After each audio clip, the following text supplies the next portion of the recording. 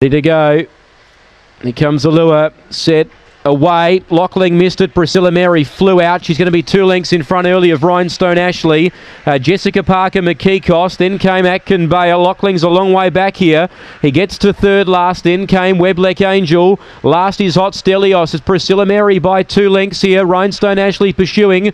Third is Atkin Bale. Then McKeekos running on Lockling but still spots the leaders six lengths. Turning for home. Priscilla Mary. She's in front by two and a half. Lockling will charge late. The inside Atkin Bale but Priscilla Mary defeats Atkin Bale. Photo third, Rhinestone Ashley or Lockling.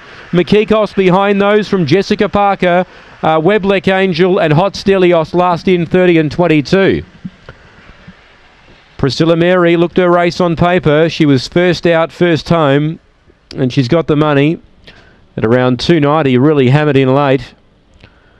Atkin Bale, the inside, will get second. Now one gets uh, third in the photo. Rhinestone Ashley from Lockling, who he was back third last down the back straight. He's done a good job to finish as close as he has, but he uh, relied on a lot of luck down the back and he couldn't get it.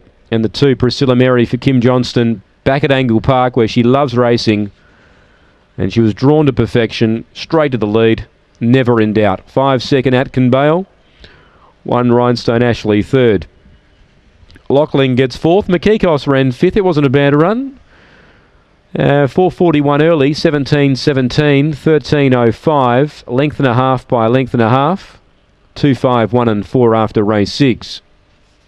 2 5 1 4. And we await the all clear to come through. Shouldn't be too far away, 30 and 20.